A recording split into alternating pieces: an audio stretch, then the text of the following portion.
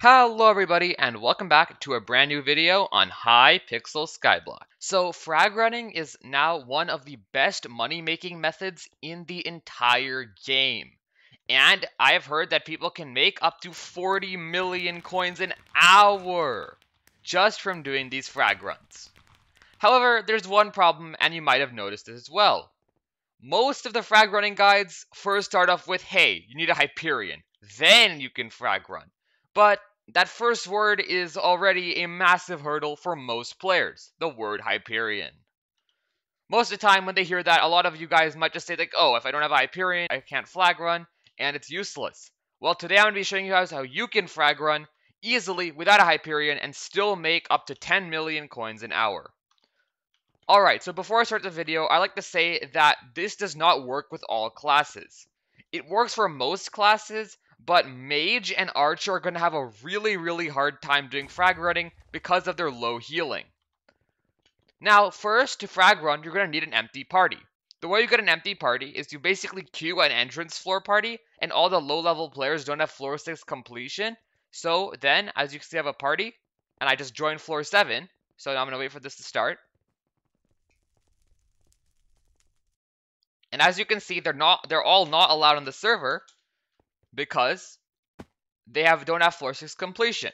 So there you go. Um, I or you can use your alt if you don't want to just like you know make people annoyed by this. You can use your alt account. But if you don't have an alt account, this is a really easy way to do it.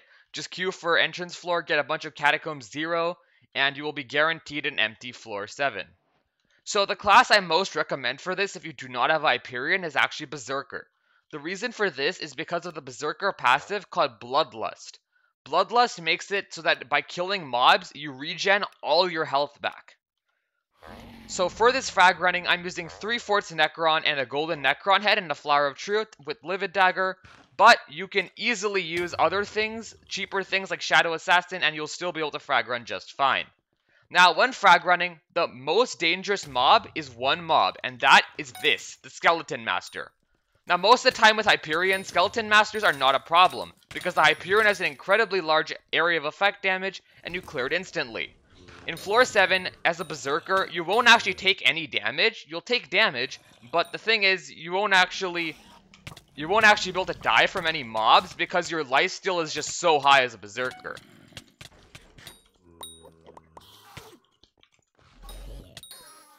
So when you're frag running, the most important thing you want to do is get the last mob.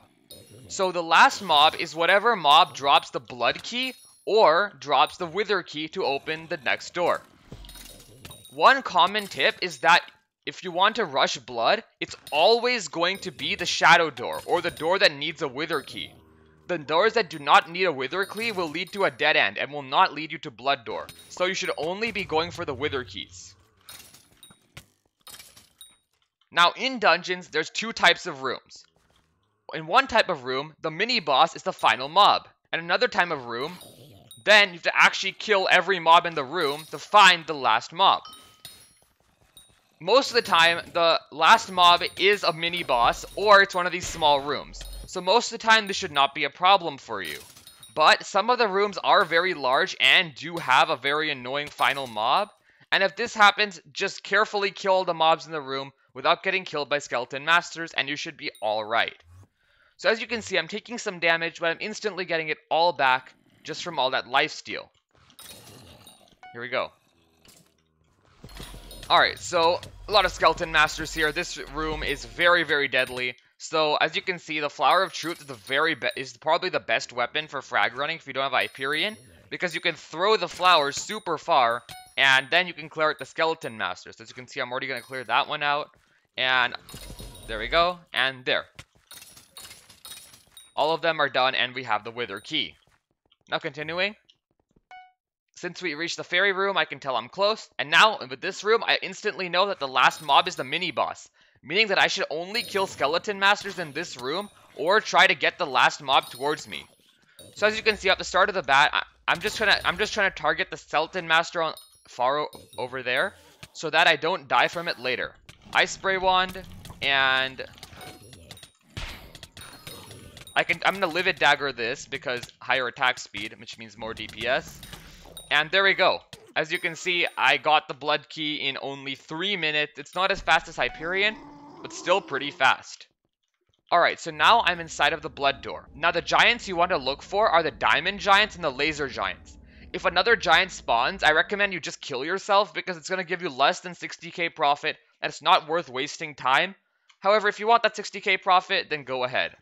So in this case, this is a really bad blood room. The scarf fragments are basically worthless. Alright, so this is an example of a really bad room. So I got really bad RNG on that room, so I decided to kill myself because I didn't really have that much profits and it would waste a lot of time, the two minutes, right? So now, I just warp back here, I have all my stuff again, and make sure that you wait for a few seconds. And if you don't wait for a few seconds, you might get inventory wiped. It's a it's a glitch where that you get like ROM warped to the same dungeon or something weird like that. Mm-hmm. But you definitely want to wait before starting the dungeon again. Just wait for a little bit, sell whatever you got possibly. Not that much time, just wait around so that you won't get inventory wiped and there's no risk of it happening. Alright, so now we're going to go into another floor 7. As you can see, we're going to start a new queue. Entrance floor, catacomb 0, you ask for cat 0, and no level requirement. There we go. So now with this all in mind, we're going to now do another frag run. So the strategies that, that you've learned from that bit of footage right there is first and foremost the most important skill that really goes into frag running is mostly being able to know where skeleton masters spawn. A lot of the time skeleton masters are hidden behind walls and other objects and they're going to just surprise you and do 50% of your health. Alright, so now we got some people going in here and now let's go into another frag run and see our luck. Let's go. So now just look at this footage. So now immediately I know that this this final mob in this room is actually the mini boss, and those rooms are the best because then you don't. Those are those rooms are also the fastest. Gonna fire a flower of truth to get rid of the skeleton master, and now I'm all good. Ice spray. Gonna just be beating this guy up with the livid dagger, and there we go. Easy one phase. Very very good entry because we got a very nice room at the beginning. They're going in here, skeleton master up top. Okay, it, it dodged, but still. There we go. Instantly took care of it, and now I can just run into this room with no possibility of dying because of all my life steal. Alright, just entering this room. I'm going to fire down there. And this is... And there we go. As you can see, we're making some good progress. Pick up the Wither Key. And now we're making really good progress into Blood Rush. Alright guys, so now I'm also talking about why you might want to consider doing frag runs. Besides for the insane amount of profits, it's actually really good and makes you kind of a better dungeon player. The reason it can make you a better dungeon player is not because it's going to teach you to learn secrets or anything like that. It really doesn't. But it makes you a dun better dungeon player because you understand the placement of mobs and where skeleton masters are way better. That will make you a much more effective blood rusher and will also make you a better dungeon player. Okay, finally. That took a long time because I was kind of focusing on the commentary there. But all the same, we were able to do it. Now, I know there's this... Okay, there we go and in and now being careful here as there might be skeleton masters down this corridor as you can see there might be some over there usually uh, that's a common spawning location of skeleton masters and let's just continue going through okay there we go here's the blood room now I, I know there's a skeleton master there so I just avoided it real quick and yet again gonna get those skeleton masters so that we don't die and we can do this really efficiently and boom that is the last mob. As you can see, that was, again, a three-minute blood entry. I think three minutes is really achievable uh, when frag running. Um, especially if you get if you get a good first room and you don't get a lot of rooms where the last hit is a mob and not a mini boss. All right, so now let's see what RNG we get. All right, looking promising. All right, let's go. And now we got the laser giant. So the laser giant is just really good because it gives you the laser eye, which is 500,000 coins in your pocket. So now I'm just going to be going full-on backstab on this guy, just trying to kill him as fast as possible, because the other mob is Scarf. Now keep in mind that these mobs are boomer mobs, and boomer mobs are really annoying because when they die, they launch explosives that kill you instantly. So with this in mind, I'm trying to target the giant as much as possible. Alright, there, I killed something there, and I really want to avoid all the TNT if possible. Alright, so I died there. Unfortunately, the Laser Guardian did not give us an eye that run, but that is okay, because, as you can see here, the other mob was Scarf, and Scarf fragments are worth barely anything, So I think all in all, that was a fairly good run. We had a good entry. Unfortunately, we did not get the RNG that we needed. So that sucks. But all in all, I feel that that was a pretty successful run just because of our nice blood entry. Alright everyone, and that was the video. So sorry if I started rambling a little bit there. I was trying to focus on the commentary and do the frag runs at the same time.